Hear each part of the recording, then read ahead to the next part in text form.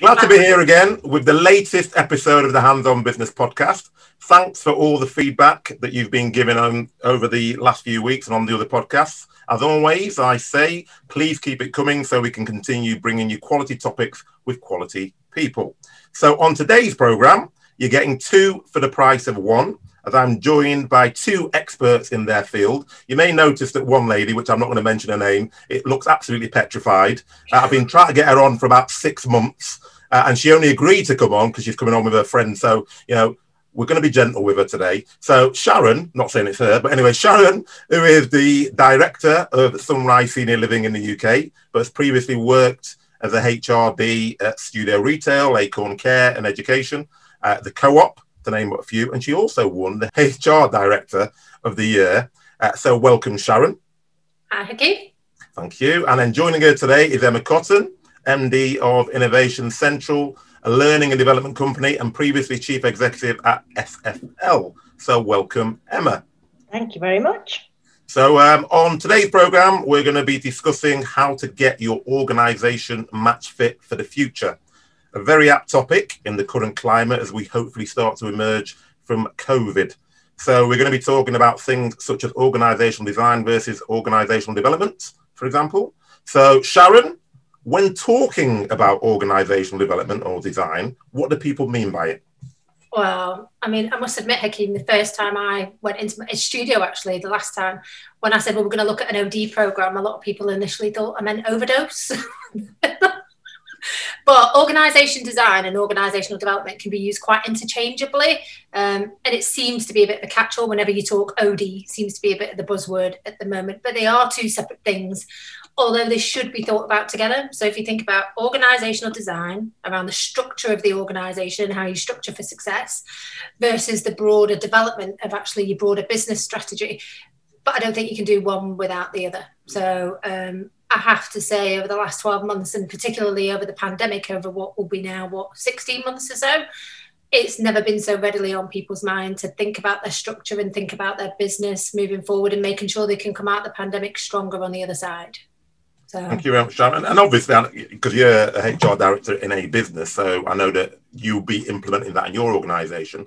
From your point of view, Emma, because obviously you're working across a variety of businesses, are you are you seeing that same um, pattern reflected across the businesses that you're working with?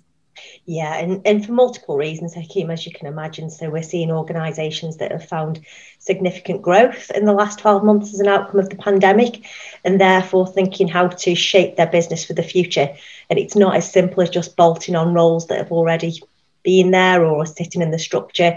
And on the flip side, you've got organisations that have unfortunately suffered from the pandemic. And, and what we're seeing there is reshaping and resizing to be reflective of their new strategy and the financial targets that they're now achieving. So, never more have we had to think about organisational design in a way it says, actually, what do we need to be tomorrow instead of just replicating what we are today?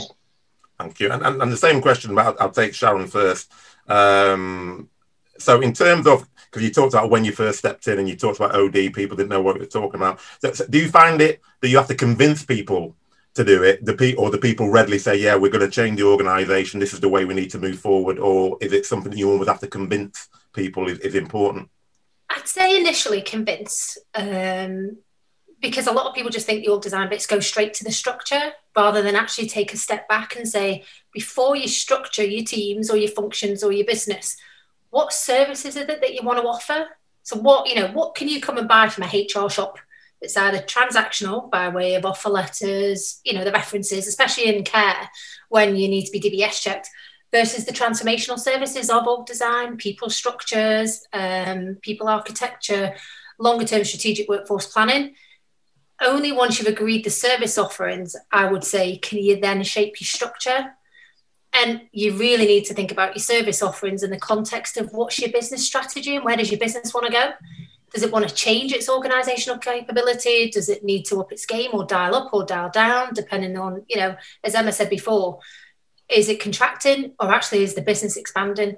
And I think a lot of organizations just tend to bolt on more people rather than stand back and think, right, we are where we are now how would if we were starting from scratch would we really organize ourselves in this way so once you get people beyond that it isn't just diving straight into a structure then yeah, they usually there is a bit of an appetite for it. And you can see, Emma, I think you'll probably attest to this more than me. You can see the light bulbs going off when you start to talk about services of each of the functions. So that takes a little bit of convincing to get over, but once you've started it and the light bulbs go off, everybody wants to get involved because everybody wants to see how these services translate to structure and translate to business performance. Yeah, and I think you're absolutely right, Sharon. When you talk about shaping either expanding or contracting, there's a, there's a sense of urgency that every executive wants. So it's very easy to run straight to structure because actually that will give us the almost outcome we're looking for the quickest and it, it, there's a level of comfort on what they know and both you and i have seen executives have been highly successful over a number of years but being made to stop and think around what are the interdependencies between our structures? How do how do these decisions impact our culture? Because the two things go hand in hand. How are we really going to decommission some things that services that have just been habitual in our organisational structure that actually we don't need going forward.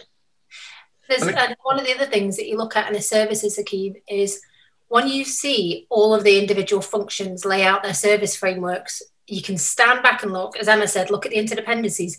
You will be astounded at how much duplication of effort there is going on across multiple functions.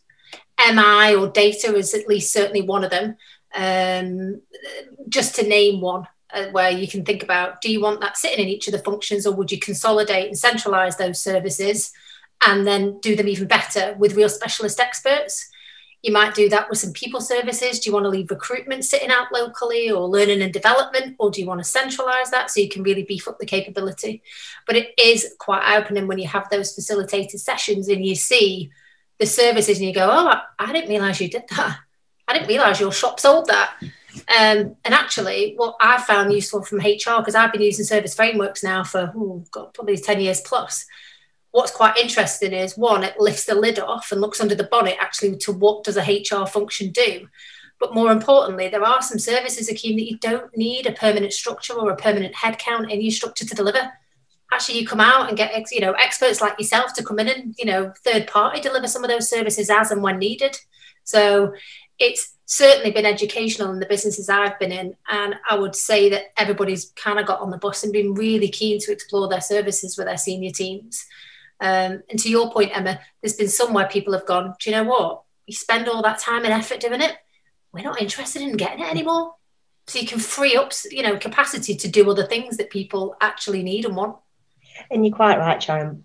But I think the value that we've we've both indi- collectively seen and individually in different organisations is it really encourages executives to think enterprise wide yeah. rather than just a change within their functional area. Um, because without connecting those interdependencies, we can do role impact assessments, we can do it, people impact assessments, service impact assessments, but we need executives to consistently look across the enterprise and say, actually, how do we move the organisation forward together rather than just the specialism that I'm accountable for? And, and where, where does that generally sit? That organisational design, organisational development is that not? Would you see that as a HR function? Um, I think it's HR facilitated, mm-hmm. but I've always made the CEO the sponsor. I think they have to be they have to be the honest broker. So I can arrange either Emma to come in, Innovation Central to come in, and Independent to come in and facilitate it, or project manager I try not to be the sponsor of it because at the end of the day, I've got my own function that's part of the jigsaw in the mix. And I think a CEO has to own it, especially if you think those services and the structure, and as part of doing the work, you know, if we think of culture as the sum of behavior, what you get out of this piece of work is actually what are the behaviors that are going to drive your business forward. I absolutely think the custodian of that has to be the CEO. So, and, and you ever get pushback on that? Because obviously, lots of people think that HR is just about as you said earlier, well, we're recruiting, so I'm doing some job profiles, or um, you're sacking somebody, or etc. etc. I haven't had a challenge with it, Hakeem, because if you can build a robust enough business case that says, here's the methodology, here is the approach. I've now done it four or five times, and all of them have delivered business benefits, either through cost savings and efficiency savings to strip out the duplication of effort, or really been a catalyst and an enabler for growth really quickly so when we first did this piece of work at, you know, um, in a house builder, you know, they doubled their sales over two or three years. when I think of, you know, studio, you know, it had double digit growth and everybody wanted to be involved in part of the OD because it gave them clarity of accountability at a frontline role level. We engaged the workforce to help us shape it and made sure that even the 90 minute workshops to, to help shape what they did and how they did it. And actually, one of the questions I think Emma will, will confirm we used to ask is what stops you doing a brilliant job? What else can you see that would make that job even better? They had way more insight than we ever had. So norm, I have to say, of all the business cases, you know, Studio delivered a million pound of benefit. You know, if you people are clear on what they're doing and they've got career pathways, makes it easier to attract, easier to retain. You know, and one, I'm not a massive person for analogies, but I try to use this one from a HR perspective. It's easy when you can kind of compare it to marketing. Marketing's role is to go and attract new customers maximize the performance of those customers either through share a wallet or multiple visits, retain those great customers that are delivering great performance results, offload those customers that don't serve you well and don't make you any money, um, and make sure that they promote the brand. I think if you swap C with customer with C with colleague, I think that's our gig. Mm-hmm.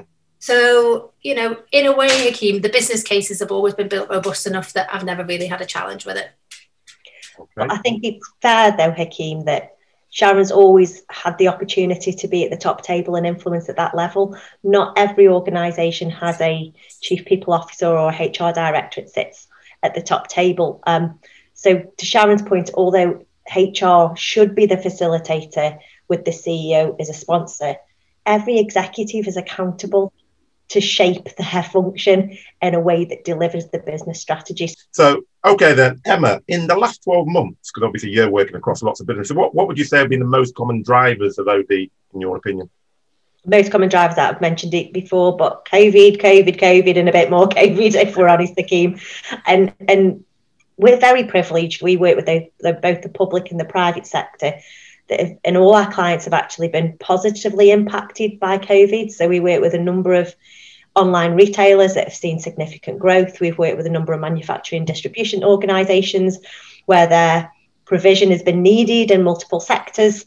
Um, so yeah, growth is for our client base has been the main requirement for either organisational design or organisational development because as Sharon mentioned previously, you can reshape the organization but once you've got that capability in how do we develop it in a way that it actually delivers what we need through performance management leadership development career frameworks learning curriculums so there's been a real long list of requirements from our clients but what we're seeing is the requirements at pace because the change is happening so rapidly so we're not seeing really long timescales for RFPs. It's we have a need, we have a budget, we have an objective, we need to do something that delivers with impact. So, um, yeah, our clients have very much benefited from a lot of the the change in the last 12 months. Yeah, no, I, I was just going to say because it, it would appear to me that actually having a robust structure with people who are developed on a regular basis, even before COVID, puts you in a better position to deal with these sorts of challenges, doesn't it? Because I think the businesses that do well are the businesses who get it and are geared up, and as you just said there, are, are quick to move as they see changes because they realize, well, actually, the way that we are currently functioning is not actually fit for purpose in the, the business world that we're moving into. And COVID, I think, is a perfect uh, example of that. So, so have you seen the same, Sharon? Has your business changed to, to deal with, with, with obviously the massive impact that's happened over the last 12 to 15 months? Definitely. And if you think about it in a residential care home setting, you know, the head office, support office could all work from home. Now, that was a massive culture change because they'd never done that before. But the frontline communities, which we've got just under 5,000 colleagues supporting about 3,000 residents, it's pretty much the same for them. But we had to quickly turn around recruiting about 700 people in about seven weeks.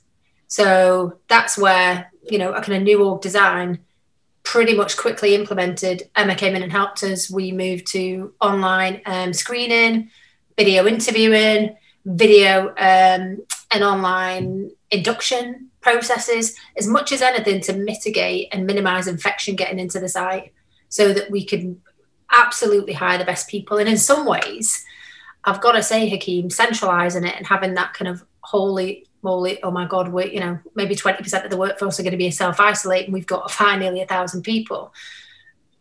I would say because we were already starting on the OD program, we already had a bit enough in, well, certainly enough insight. I started in the January, Emma started the work late December, January, just before I started. We had enough insights that we could move quite quickly on it.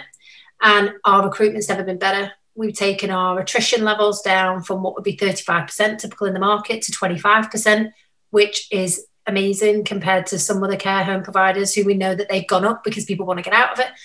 And then we've doubled our conversion from bank to perm by 100% because we've just game changed how we deliver the recruitment experience to bring people in and on board. So, whilst COVID was the catalyst, we'd already started to look at the OD of how could we do things quite differently. The, all COVID did was just, to Emma's point, was just a catalyst to make it go even quicker. And there oh, was a bit of oh, and also what we saw from a recruitment perspective is COVID also opened a lot of talent up as well. Yeah, so if we think about the aviation sector and then what they do in terms of hospitality, although it's in the air, it's great service, it's about attention to detail. We had the opportunity to place some exceptional people that may have never thought about the care industry if this hadn't have happened. So actually the talent portfolio across a lot of our clients, whether you're home working, remote working, we've got some clients that sort of Bolton based that would never have recruited somebody in Devon or up in the deep dales of Yorkshire. But now we can because we've started to get used to the way that we work in a very different way. And although it's still in a residential setting in, in Sharon's world, some, some brilliant people were attracted to the brand that we may never have seen before. Yeah. I mean, my head of business partners and people change lives in Altrincham, whereas everybody else before then, Hakeem, would have been based in Beaconsfield. Mm-hmm. You know? Yeah, no, I, I think the, the, moving online and that becoming almost a norm has, has been a bit of a game changer. And I was just thinking, because you know, you, you, you recruit over what seven over seven hundred people, and so it's it's almost kind of counterintuitive that you would get that you would actually have a, a lower attrition rate. So what was this? What do you think was that? Take aside the fact that obviously you've got some great, great people, and take aside the fact that you two are doing it. Obviously, um, what would you think were the, the key things that um, sort of like what were the, the game changers that meant that you actually believe that you're now doing better recruitment than you were before? I don't think we did recruitment well before. I think people used to come in and have an interview. You know, we have we have some brilliant general managers who know intuitively and instinctively who's going to be a great carer but it was by gut. Whereas really making the process more robust. So having a first initial screen at a contact centre who would ask you some values based questions, then coming through to another interview, which would be one of the team or one of the innovation central team, because we just needed to get third party support because we just had too many, we were never going to do it ourselves. To then do really structured behavioural interviews to make sure we were getting the right people in the first place. Then, as part of the induction, moving that online and making sure that it was delivered consistently by one of my training team rather than maybe it maybe hit or miss if you got in a community but was busy or there was an outbreak or something happened so there was a lot more structure and a lot more rigor um, some people may also say you know it's the covid factor people might not want to move on um, I certainly know our US counterpart, their turnover has doubled in the same period. Ours has dropped by 30%. So, and I know that I'm part of a WhatsApp chat group with other HR professionals, and I think it's still around the 30% attrition. So, I, you know, I think it's fair to say it has been market leading, but it's not just the recruitment, I would say, that's made people stay Hakeem. I think it's everything else that we have done. You know, trained our leaders, managers. We've had a big focus on mental health and well-being and mental health first aiders. We've done loads around the benefits. So I couldn't say it's one particular thing. I think it's a mix of different things that's gone in to the into the mix and I think that's why people are saying because they feel valued and they feel they're making a difference. And, and the nature of the people that you recruit, they're quite altruistic by nature. And when you think about nothing creates a team more than a common goal or a common enemy, COVID was the common enemy. And you go into communities and you speak to GMs and general managers and their teams, and just that sense of camaraderie and care for each other because not only have they been looking after residents, they've been looking after each other and, and their extended families. So um, there's certainly a sense of wider community that I certainly see within Sunrise and Gracewell too. Okay, thanks. Uh, and obviously, I know both of you guys are very, very process driven, and you're very precise in what you do. So, if there, and, and Sharon actually mentioned it before. I've done this in like five or six different businesses before, and I've been in one of those businesses where where where where she did it. Oh yeah, I've been in two, but yeah, that's sorry, I've been in two businesses. Yeah, sorry, I do apologise. You want to forget about the second for some reason. Yeah, she's obviously yeah, because I, I didn't get any of the money. That's why. Um, so um, anyway, moving on. So um, so the question is: Is there a right or wrong way to shape org design? Um, Do you want to say Sharon's way? Well, yeah, that's always the right way, obviously. what I would say as a wrong way is HR doing it on its own. Yeah.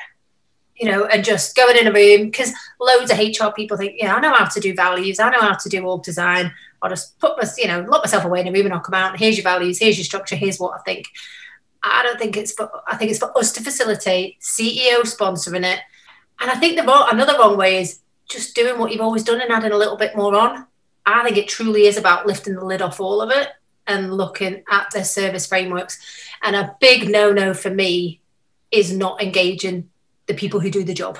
It's where most of my budget is spent by having those sessions, either one to one if it's a unique role holder or running facilitated workshops with people more than, you know, if there's like more than one in a role.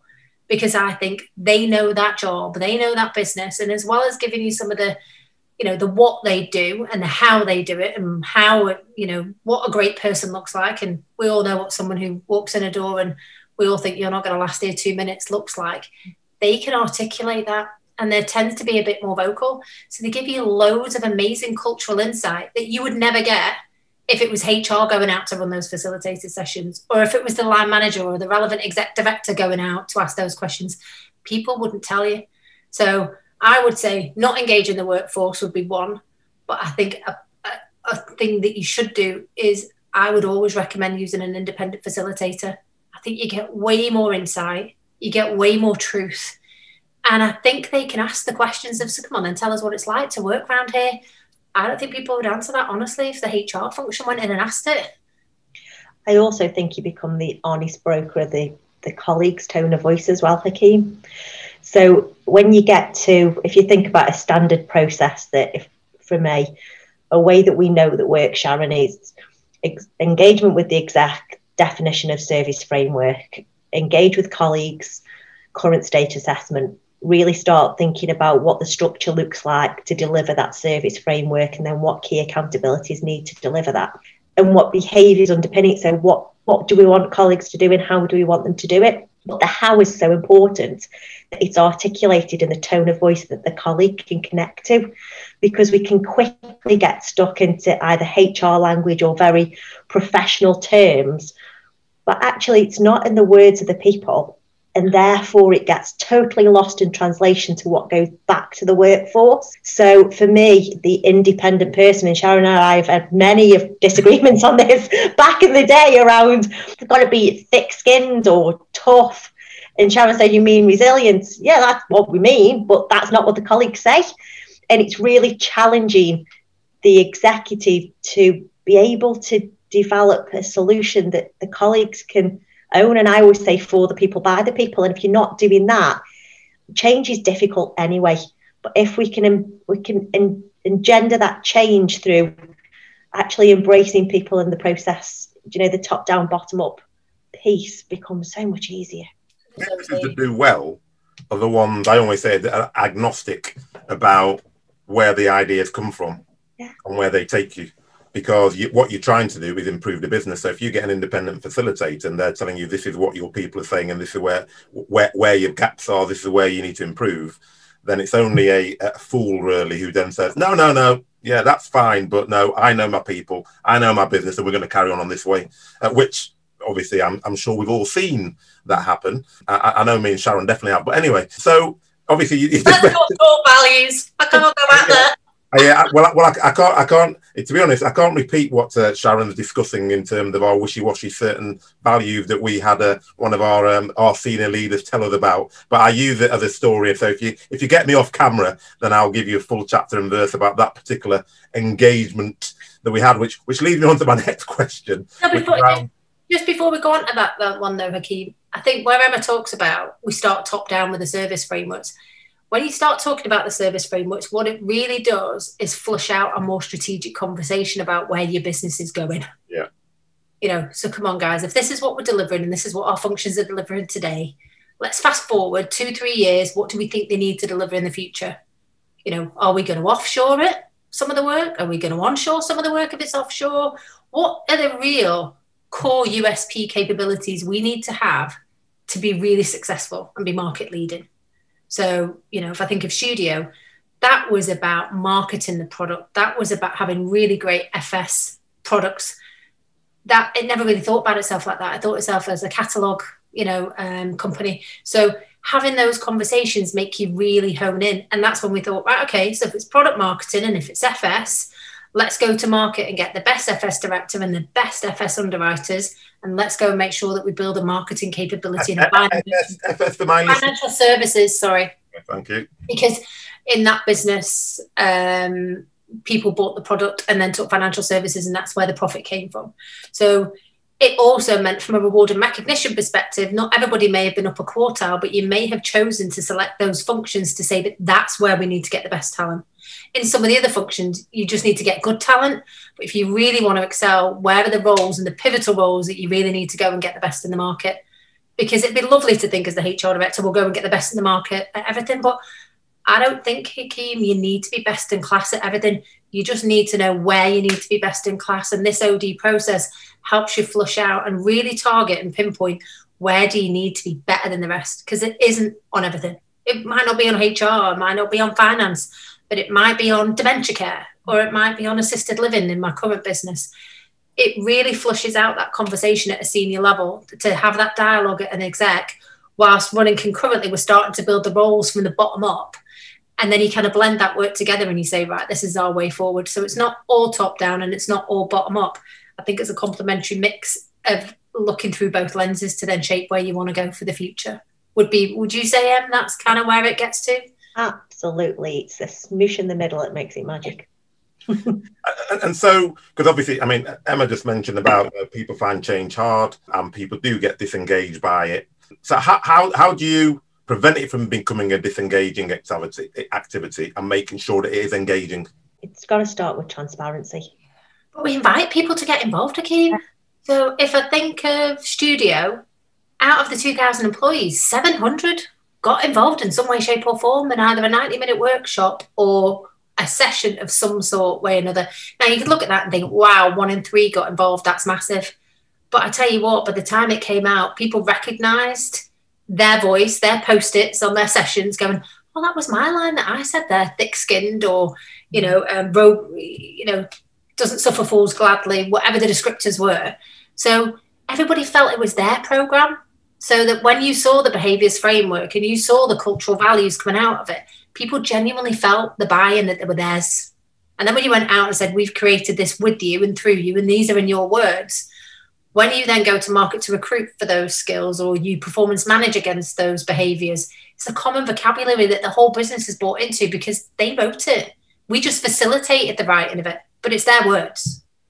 I'm also a massive believer, Hakeem, at finding the people that are perceived as being the most challenging or disengaged yeah. or, and the most negative put them in a room with me. I absolutely love it because what you tend to find is they're not disengaged. They just need to understand why.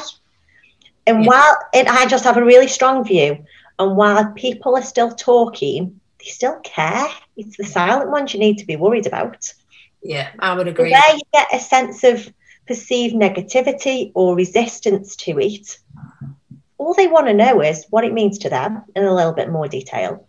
They've probably heard it 400 times previously in their career, and it's never actually delivered what it said it was going to do. So they just want to share that but just don't avoid the people that are perceived to be challenging. Get them together and give them a voice and just give them the opportunity because the minute you've got them, you've got the rest of the organisation. I was, I was just going to say, it's, it's almost, uh, I think sometimes people go into businesses and forget the human because in any in any walk of life, you don't like things being done to you, do you? You like to be involved. So, and and, and as you just said, there's lots of organisations I've been in where you do, you're about to do an organisational, let's just call it a restructure in this in this instance, and it's like, yeah, well, three people go into a room, start moving people around and say, oh well, they can work there, they can move to that. Oh, this is the job that they should be doing, and then they just announce it, and then they wonder why they have a massive uh, amount of turnover about six months later. And they go, oh, well, I thought it was a great structure. And it's like, well, yeah, but you didn't engage anybody. You've just gone off and decided this is what's best for the business without really understanding the business. So, yeah, sorry, sorry, Sharon, go on. You're going to say. No, I was just going to say that you have to tell people why. Yeah. I'm a massive advocate, and whatever we do, as long as you articulate why, they might not like the why, as long as you explain and share the why and communicate the why, people usually get it. Yeah. Why do we need to do this? One, we need to make sure that, you know, we are match fit for the future. You know, we can continue to grow, we can continue to attract the right resident, the right, you know, frontline team members to be able to provide amazing care for those residents. So that's why we're embarking on this program to make sure that we are match fit and, you know, we can grow. We can, you know, either through if that's through new homes or is it through organizing, you know, organizing ourselves better.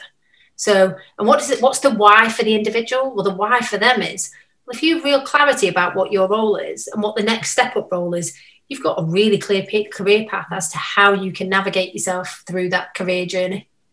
Because we've all worked in organisations, Hakeem, where people have got promoted because their face fits, not because they're the most capable, and not because there was real clear clarity and transparency as to what you needed to do to get to the next level job.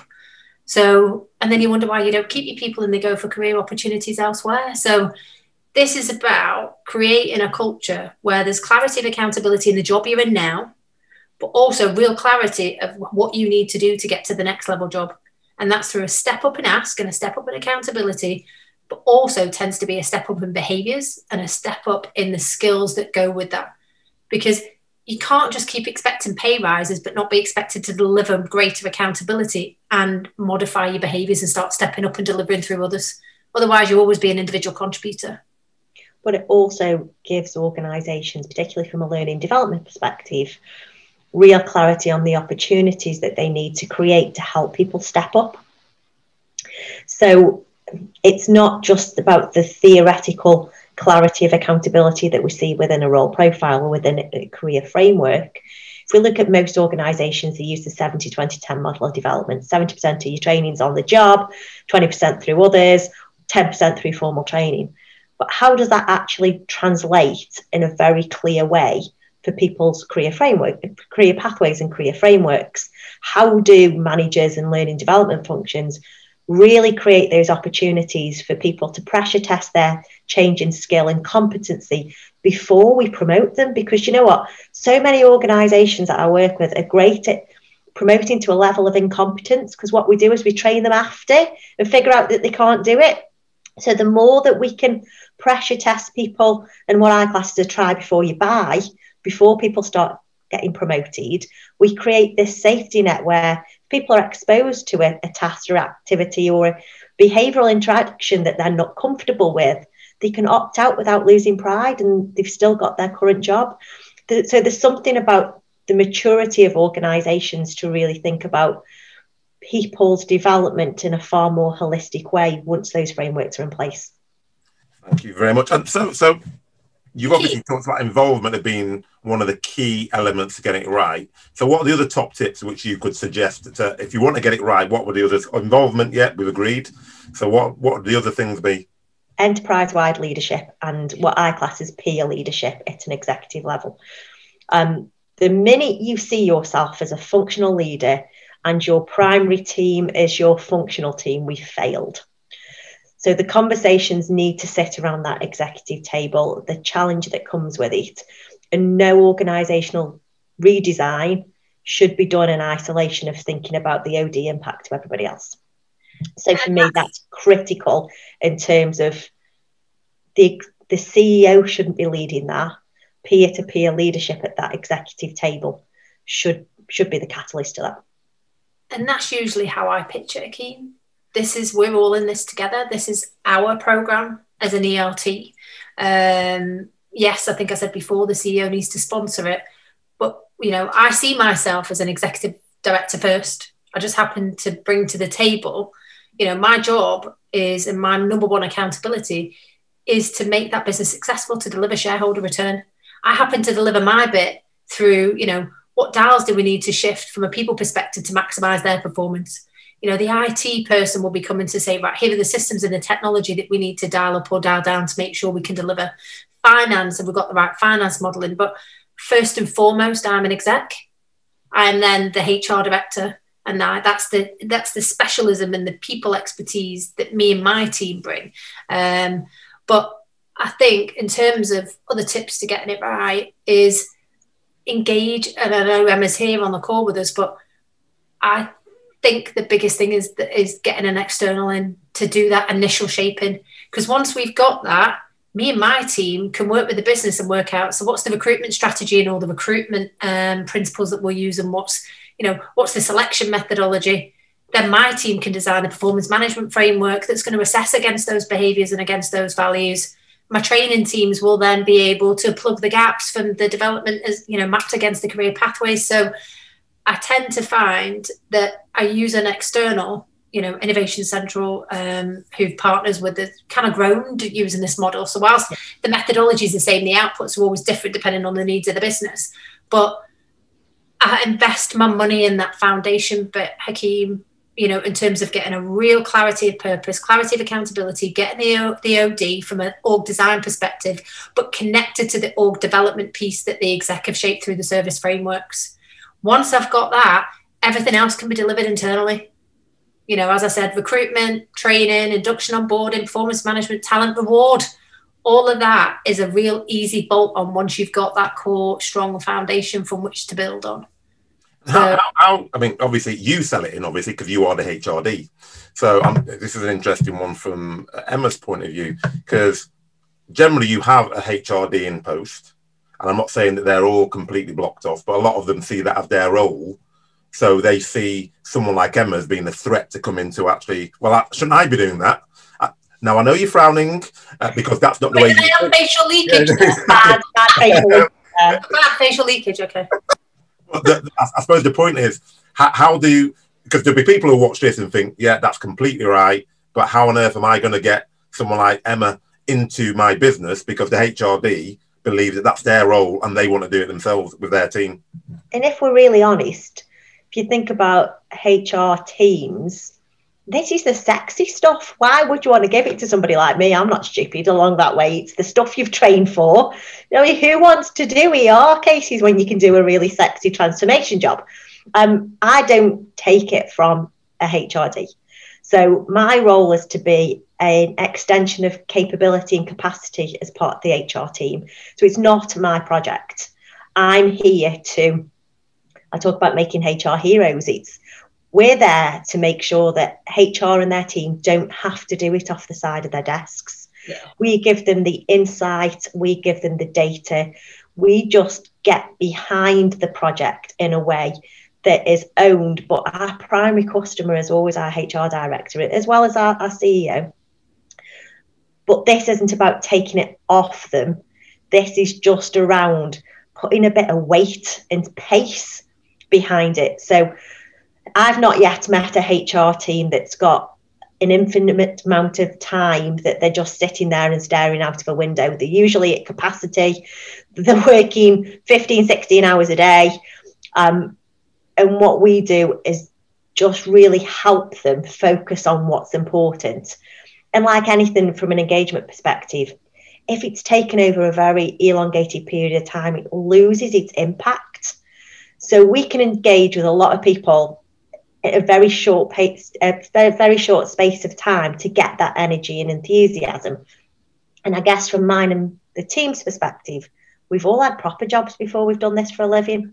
So we've been operational leaders, we've had P&L accountability, we have had teams so when we engage with people, I'd like to think we can do it from a very authentic perspective that we've been there, done that, and got the t-shirt and know the challenges associated with it. So although what we do is is steeped in in theory and in, in academia to which HR teams lag, we're really quite practical and straightforward and straight talking in the way that we engage with people. So it's never our program. That's a really long way of explaining that HR are always the lead. Yeah. Makes sense. But also, Hakeem, I think it goes back to one of the original points. People will tell an external, they won't tell a HR person. I think my manager can be a bit of an idiot, or I don't think the way that we run this process is particularly great. You'd never get the insights that we get as part of doing this independently, you know, with an external. Honestly, you just don't get it.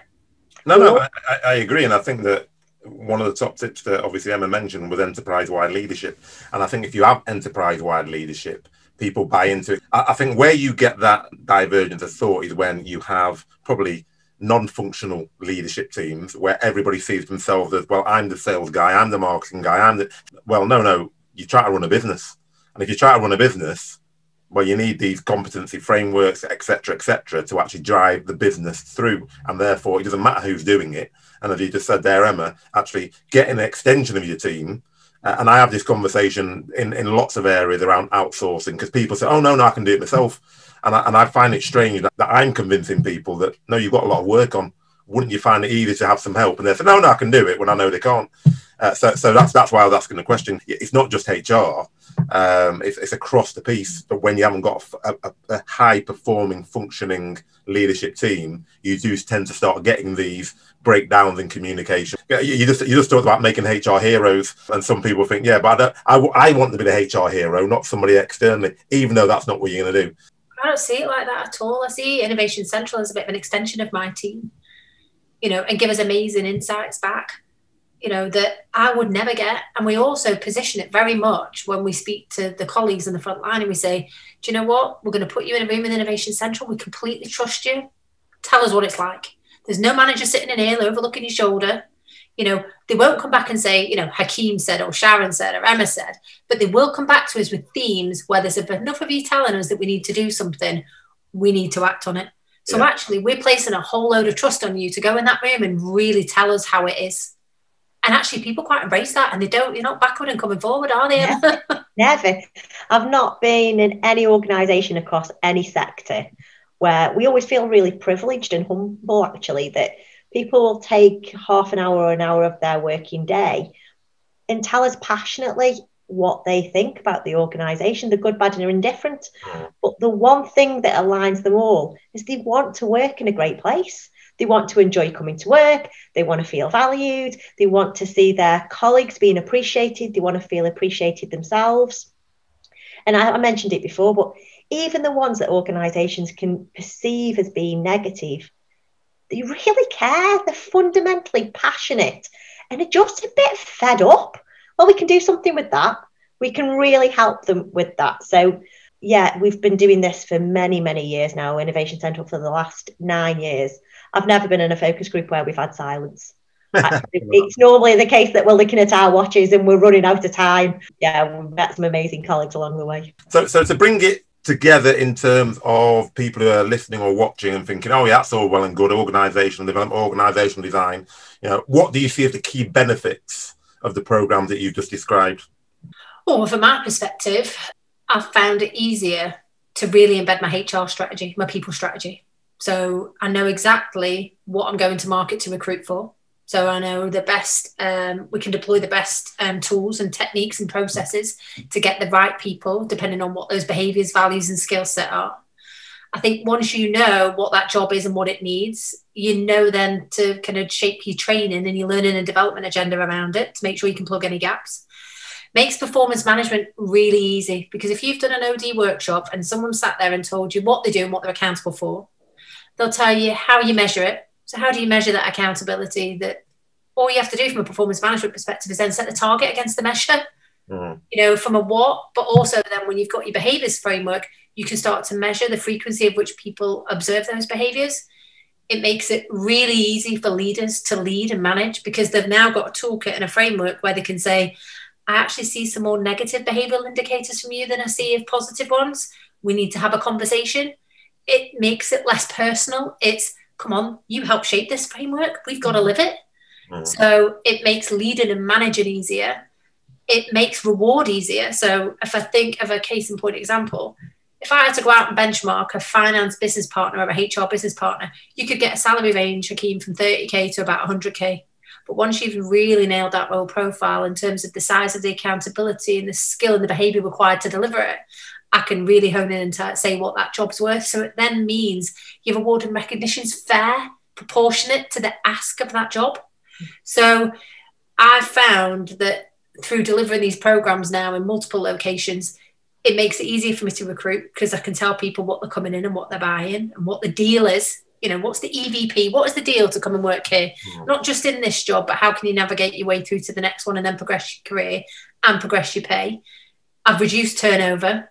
When if we look at the cost of turnover, my, in my current organisation, that 30% reduction, Hakeem, in that frontline care worker, that saved about a million pound in recruitment costs. It's also saved over about 1.2 million in overtime costs and about 2 million in reducing the need for contract labour because we're not having to constantly plug the gap of someone going and waiting to put someone else back in. So it, I'd great. It'd be great to say it's all for altruistic reasons, and wouldn't it be lovely? Because we all want to work somewhere that everybody loves to work. That is a that is definitely an input, but an output is it would every business I've been in has been in a much stronger financial position either through sales growth because we really ramped up the capability required to deliver it, as well as cost savings through reducing uh, attrition and sickness absence because people feel motivated because they know what they've been asked to do and what the difference it can make.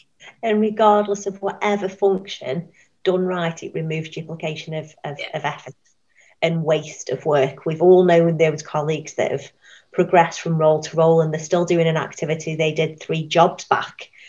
It puts a, a real line in the sand to say, we're not doing that anymore and frees capability and capacity up to do the right things for organisations going forward.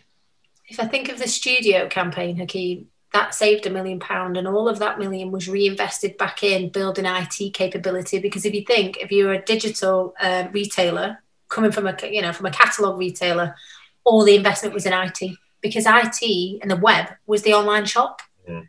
so we used all the savings from all the duplication of efforts and taking roles out of other you know teams you know, that just weren't adding value or there was lots of duplication of effort, consolidated and centralized, and then used that money to reinvest in IT skills and DevOps capability to really take um, the, the, the web forward. And it's really benefited in COVID because whilst we did that pre COVID, what that meant was in a COVID world when all the shops were shut, studios had about 25% increase in growth year on year mm-hmm. and largely attributable, I would say, to that OD program that reshaped how it was going to deliver its services. So real tangible benefits, which I think is important to, to note, and and I know we've spoken about it before because you've obviously been been involved in quite a few businesses, Sharon, which which have been sold. And I remember I was having a conversation about actually the value and I think you had some empirical data actually about the value that's actually added to a business when selling, when you've got a proper, you know, organizational design and development program in, in place. Well, if we think back to Acorn, when we transformed um, how we did recruitment and transformed re- attraction and retention, so we saved in year one, I think the last year there, we saved just shy of about 700,000 just in recruitment alone through improving um, who we were bringing in and improving the um, retention levels. Now, when you sell, that's 600,000 of pure hard cash, not arms and legs that could be cashed, pure hard cash. When you then sell that business for multiples of 11 times EBITDA, well, you just multiply 700,000 by 11 and you're into millions of pounds that you have been able to add back on to the bottom line if you're selling an organization. That was pure saving straight on the bottom line. Mm. I, I just wanted to bring that because I think a lot of people, I mean, you mentioned it, you both mentioned it actually, that, you know, people think, oh, well, you're doing it because it's nice and it's all very people and it's fluffy. Yeah, it is. And people do want to work in a nice place, and it's and it is a good thing to do, but it's also a practical thing to do if you're running a business. Because, as Emma just said, the amount of people I've seen who, who will tell you, oh yeah, I've got 15 years experience. And actually what they've really got is one year's experience 15 times because they're not changed. They're just yeah. doing the same thing over and over and over again and they're not moved on. And, and that doesn't drive businesses forward. So I think it's a, a really important uh, thing. And I'm, I was going to say on which to end, but I haven't. Uh, and I'm not ending because I, I, always have a few quick fire questions. Oh my word! No, no, no! Don't worry. Don't worry. Maths does it. Maths or science. These with people because then people have to then think of them on the feet. But there won't be anything to onerous. So the first one is, what's the best organisational design process you've ever seen? Mine. well, be, yeah. Well, I, yes, and I'm, and I'm sure Emma's is yours as well. The best one she's ever seen. All the ones she's worked in with Sharon, of course. Obviously, that was a really stupid question. Next. Is that really your answer, Sharon? I think it is, isn't it? No, to be fair, if I've seen one, when I was at the co-op, I would say, in working with the Deloitte team, where I have service frameworks, they had taxonomies, which was kind of yeah. like a different take on service frameworks. So I found that quite useful working with um, you know one of the big four in terms of seeing how they shaped um, org designs for massive organisations. And to be honest with you, uh, they're not too dissimilar, Hakeem. I, I just have my own way of doing it that works for me and isn't maybe quite as corporate. And, and I don't work in organisations of that scale to kind of take it to that nth degree. But it was it was a great piece of work at the co-op, and I think Deloitte's delivered a great OD process. Actually, in all fairness, I'm sure they charge you enough for it as well. So uh, Emma, on to you.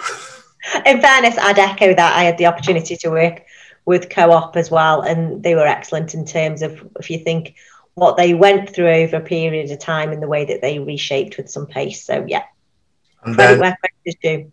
the converse, the worst. You don't you don't have to necessarily name and shame unless you unless you desire to do so.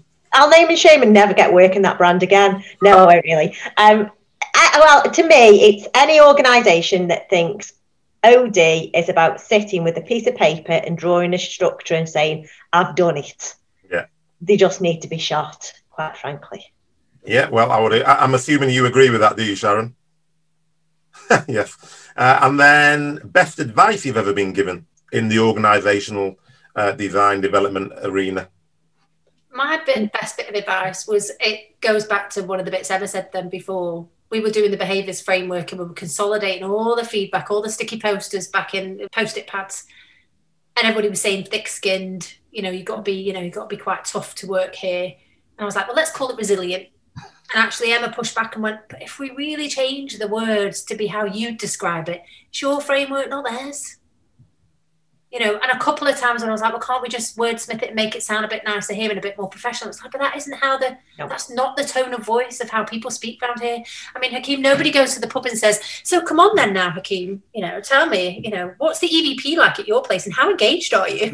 no one says that they say to you, all right, then how's it going at your place? Do you love your job or do you hate it? You know, let's just keep it in a language actually to how real people speak.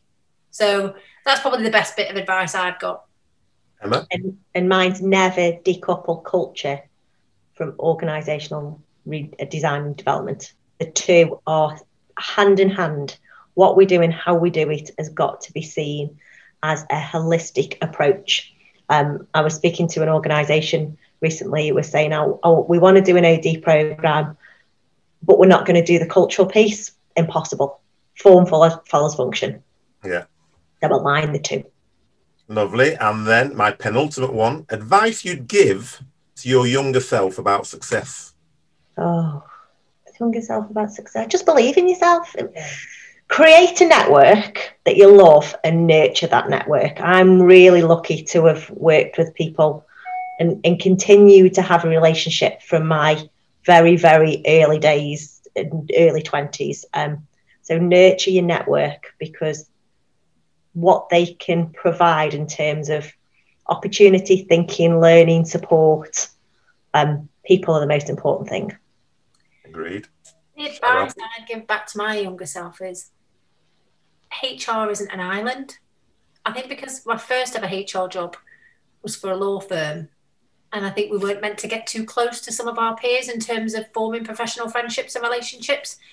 And I, if I look back now, I kind of left myself a little bit out on the periphery rather than being a fully, you know, fully in with the team. And it took me to go to another organisation where they said, "Come on, you're part of the SLT.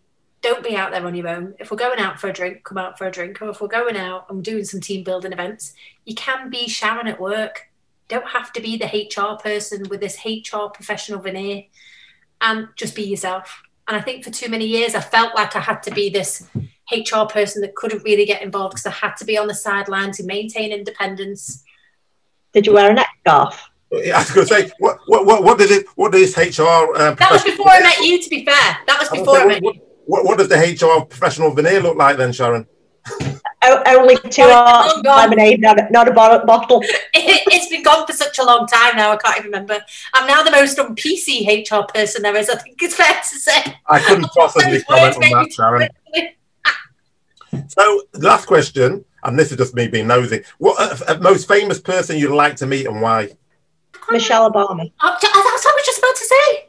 Can't have her. I think no, no, you got, you got first names. That's so no, no, Michelle Obama. I think she's amazing just in terms of the way that she thinks about the world, about family, about the difference that people can make, about really challenging people's thinking. And she's got the most amazing sing-songy voice. So who doesn't? Oh, I'm doing reading a, listening to her audiobook at the moment. Who else can I have then? Yeah, you have to have someone else. Winston Churchill then. Ah. I think he'd be really cool to listen to and to have a conversation with and say, so come on then, tell us what it was like in those war rooms, you know. So yeah, Winston Churchill. Well, thank you very much for that. So it wasn't that bad, was it, Sharon? And you and you managed to get through it uh, without um, being a shrinking violet, which I, ne- I, knew you never would be. So thanks very much for that.